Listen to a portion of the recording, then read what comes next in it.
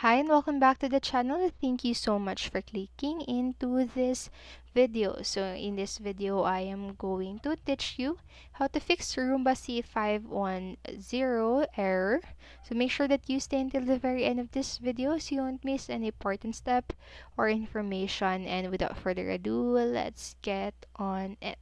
So first, um, these are the common or if your Roomba is displaying error C510, it means that there's a problem with the vacuum bin. So here is a step-by-step -step guide to help you troubleshoot and fix the issue.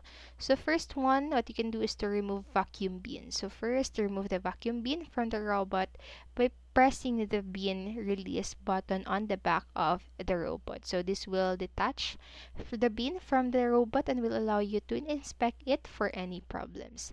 Then next, just check for debris or damage. So inspect the vacuum bin for any debris or damage and if you find any debris, just remove it and if you find any damage, replace the vacuum bin with a new one and then you can also after that reinstall vacuum bin. So once you have expected the vacuum bin reinstall it by sliding it back into the robot until it clicks into place.